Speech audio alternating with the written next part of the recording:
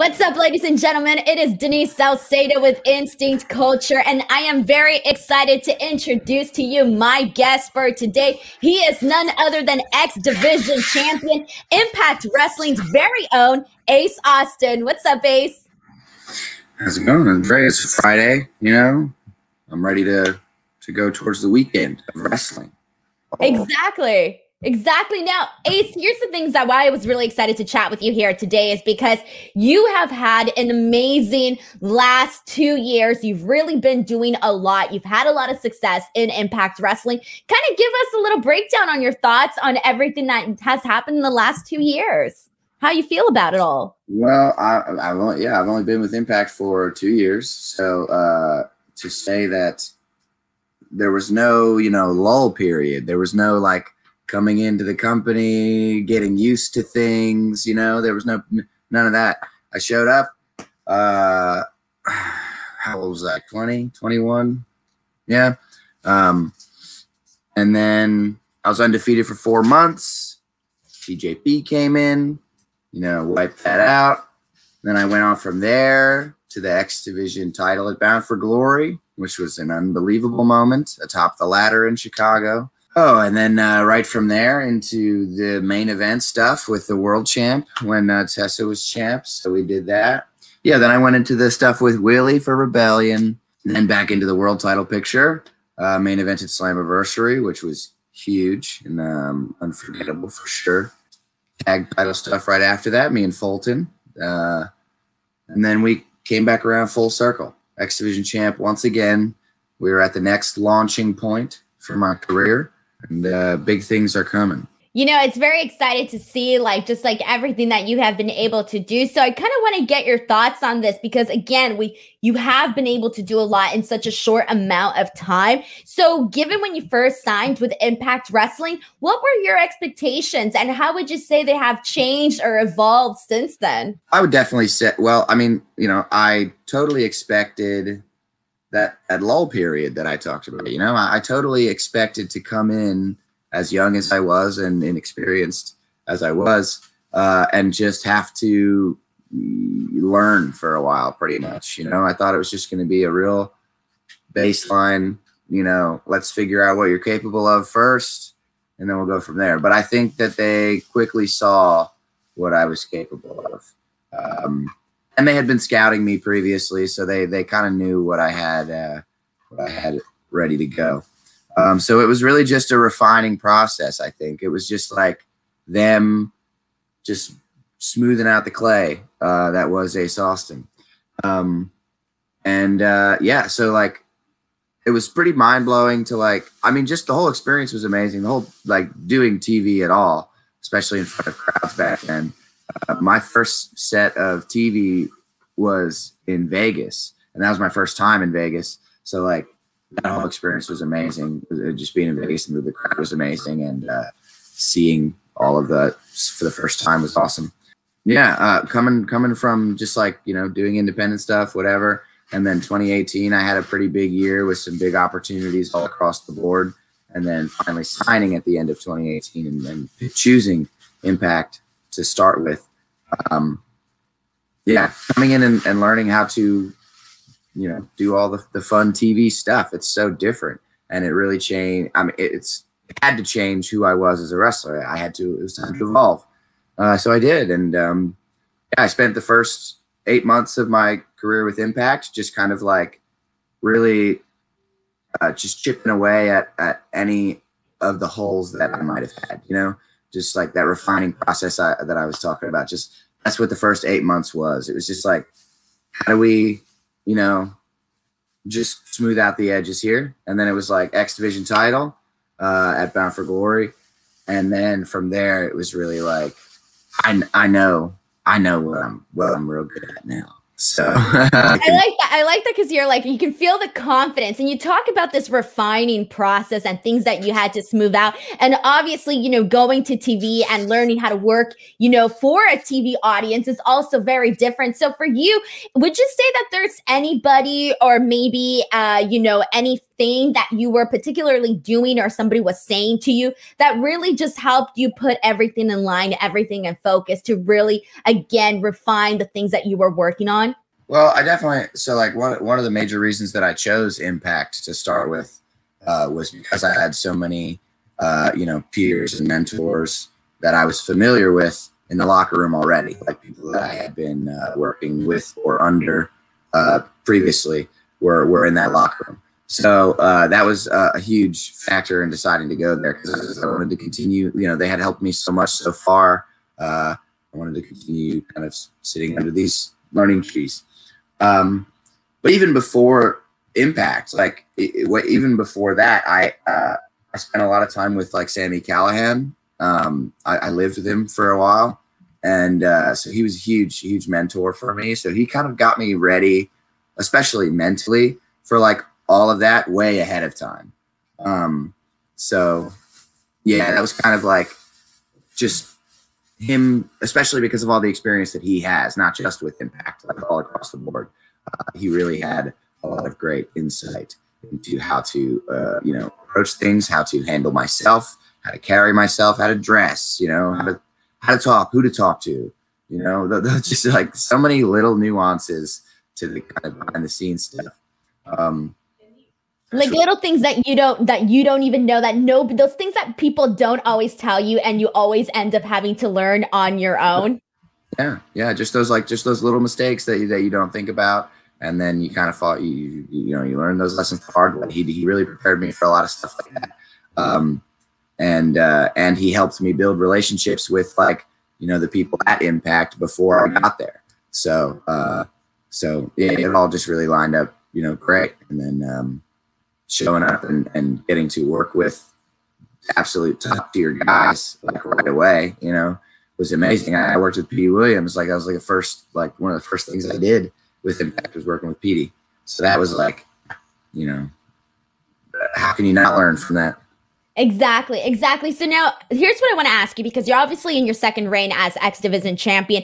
And now, being that the fact that the X Division in Impact Wrestling has such a vast history and obviously very big names, you know, AJ Styles, there, you know, there's just so many different people, Chris Sabin, that you can think of that have held this title and that have made it something. So for you, what does it mean to sort of be, you know, the face of the X division when it comes with so much history? The first time it was like the whole experience itself was like so just mind blowing that the legacy of the title was something that like doesn't didn't even creep into my mind after the fact. Just because like I've always loved you know ladder matches growing up as a kid, so being able to do Bound for Glory in Chicago in that ladder match and and, and grabbing the X Division title up there was like just a a moment I, I wasn't sure. I mean, especially wasn't sure if I would have that moment anytime soon. That's for sure, especially so young. So um, I've always said that I feel like I'm I'm still too young to really appreciate all of the things that I you know get to do right now uh, and that I get to have.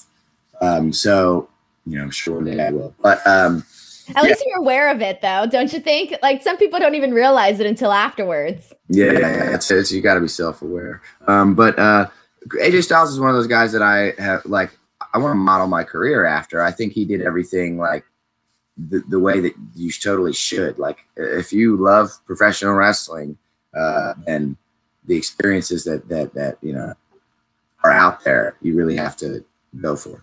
So um, yeah, looking at this this history now, uh, especially coming around to the second title reign, like the first one meant so much to me, you know, personally, and, and I was just doing my best, and I ended up doing really well. I had I had a really good run. Uh, people remembered it, and it was uh, it was pretty lengthy.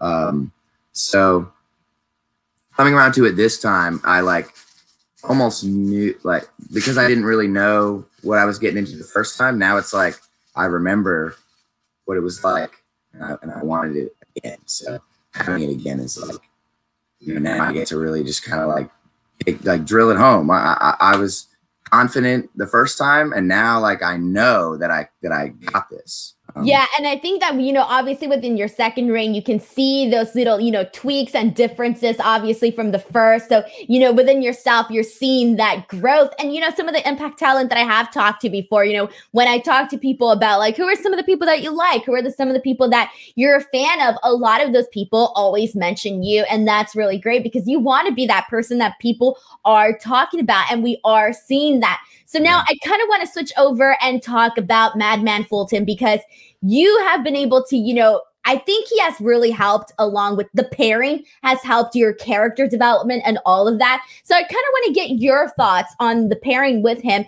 and also what your initial reaction was when you found out that you guys would sort of be doing this, you know, like HBK diesel type of situation. Yeah. So uh, I would say the only thing I really didn't get, you know, a lot of experience with uh, on my way up to the indies and everything would would be tag team you know wrestling. I did very little to no tag team wrestling at all. Um so, and i never saw myself really doing tag stuff. Um but it's kind of inevitable in, a, right in a, right a lengthy career. Um uh so coming through the uh, madman fulton is just like i mean without a doubt he is the largest person on the Impact roster, just the biggest human being, one one of the just biggest people I've ever you know seen. So that alone, and, and like seeing his dynamic with Sami and how you know almost controlling and like they literally like brainwashed him, like the like OVE literally brainwashed Madman Fulton, you know, and he, he was just like an animal at their disposal. So when I saw the uh, opportunity to kind of bring Madman Fulton into into my fold, um, I really wanted to change that dynamic completely. I wanted to. Uh, I I knew it was going to be a new side of me, but I I wanted to make sure that people got to see a new side of of Fulton, really because um, because I'm I, I didn't uh, you know ask him to join me uh, on this crusade so that I could control him. You know, I asked him because he can obviously do. He's a good friend to have, you know, and there's no reason I don't need to tell him what to do. He can handle that himself. He he definitely he has a mind of his own, right? So I wanted to make sure people understood that, you know, that, that that's like, you know, he's he's just looking out for me because I asked him to, and because I'm taking good care of it. Um, uh, as far as uh, as far as it goes inside of the uh, inside of the bubble, uh, and um, yeah, so so going straight from the world title stuff right into that with Fulton, um, I feel like a lot of my career has been like learning under pressure, and I feel like that's like a better way for me to learn in a lot of cases uh, is kind of just to be put in those moments and it's like you know sink or swim. Uh, so that was kind of the same thing with the tag the tag team stuff. I, me and fulton went right in there with the good brothers like off the rip. So it was like the, some of the best tag teams in the world good brothers the north uh, the motor city machine guns. We went right into that program with them. So how can you not you know become really good at something? When you're working with the best. when you're working with the best there's there's no like there was no buffer period of us like of us just like figuring out how to be a tag team against random other people it was like we're in there with the best so we have to bring our best if we want to hang um, exactly yeah and then we and, and i think it's a, a, testament to both of our talent and abilities because we made it all the way to bound for glory uh, in the tag title picture and still you know almost had it Amazing. So now, before I jump into our last and final ra- lightning rounds game, I do have one more question for you. April 25th, Rebellion. You have a three way, you're defending the X Division title against TJP and Josh Alexander. Kind of give me your thoughts on those two guys and what we can expect from this match. Well, I mean, TJP was that was that obstacle that I didn't overcome, you know, at the beginning of my career, right? But uh, I finally did that, that sacrifice. Um, so I, TJP, I don't think he has. Uh, he doesn't have that edge on me that he thinks that he thinks he has. Still, you know, I uh, I'm, I'm ready for him. Josh Alexander, on the other hand, is like pretty unpredictable in the way of just brute force. Like you don't, I don't really know how much it's gonna take to totally bring Josh Alexander down, you know. But I don't necessarily need to because there's TJP in the match, so I just have to exploit, you know, one of them at the right moment, and uh, you know, it's all me. If you ask, you know, Petey Williams to to to to do his Steiner math again, he'll tell you that the odds are not in my favor, right? But that's the thing about my whole career. The odds never had to be in my favor because I've always got that ace up my sleeve. You know, I make my own luck when it comes to these situations. I don't leave anything up to chance. That's I, I love that. I love the strategy, strategy going into this, and I cannot wait for that match at Rebellion. So now, Ace, we're going to go ahead and move on to our final portion of the interview. I'm going to ask you 10 very fast questions. You answer them as fast as you can. This is our lightning round, a great way to get to learn to learn more about you. So here we go. Are you ready? Question number one Do you have any pre match rituals? Uh, yes, actually, I um, besides you know resistance bands, jump ropes, whatever. Uh, I write two different numbers on the inside of my wrist tape. Uh, on the inside of my left wrist, I write five seven six, which is just a number that means a lot to me. And on the inside of this wrist, I write my match number every time. So oh, like the match that you're on, like in your career? I've had 640 matches as of last weekend. I love that. So you're doing the Jericho thing where you're like keeping track of all your matches. Yeah, yeah. Not only do I have the numbers written on my wrist tape, but I also have the book. I have a little book that I keep in my bag, and I've written all of them down since. Yes. That is so cool. I love that. You know, usually when I ask this question, I don't get interesting answers. This is a very interesting answer. I love this. That is really, really cool. Uh, question number two Who have been some of your favorite opponents? Rich Swann, uh, which is a match that Impact Wrestling hasn't been able to, hasn't had the, uh, uh, what, what's the word I'm looking for? The good fortune to see yet. Um, haven't been lucky enough to see yet, but they will uh, inevitably. Uh, me and Swann have tangled uh, on the Indies and at MLW, and it's been incredible every time. And he's just one of my favorite people in general. So definitely uh, Chris Bey is just like a lot of fun to work with, of course. Um, Eddie Edwards, right? Lots of great talent, man. Tommy Dreamer, Tommy talent. Dreamer. Yes, yeah, yeah, yes. yeah. Question number three: Dream City you'd like to wrestle in? Oh, let's see. I've wrestled in 26 states so far. So where somewhere I haven't been yet? Uh. Yeah. Alaska. I know that I know that wrestle a company called Wrestle Pro. They do indie shows in Alaska, and I really want to get on one of those sometime. I think that'd be an interesting experience for sure. Alaska. I think so too. Question number four: skateboard trick that was the hardest to learn. 360 flip. I, I like my best friend Dominic was so good at it he just could nail those all day. 360 flip or tre flip, they're also called. Um, and I like struggled so hard. I've only landed like four, you know, like ever. Question number five Who's your biggest inspiration? Talent wise, you know, personality, I, I gotta say uh, Jeff Hardy, probably my favorite wrestler ever. Uh, but inspiration, maybe more so AJ Styles, I think, inspiration wise, because he changed my goals. He changed what I wanted to do in wrestling. When I first started training, I just wanted to wrestle. I just wanted to be in the WWE, right? That's that's the only thing I knew. I, I thought about.